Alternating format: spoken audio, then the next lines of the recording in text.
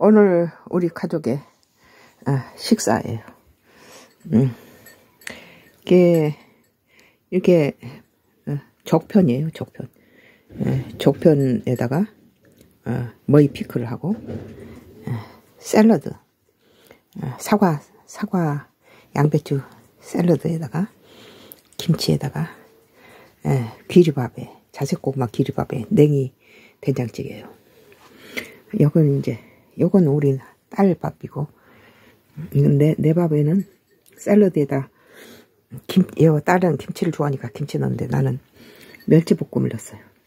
그리고 적편, 적편에, 에, 예, 머이 넣고, 귀리밥에 된장, 냉이 된장국을 끓였어요.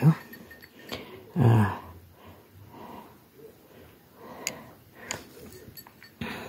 맛있겠죠?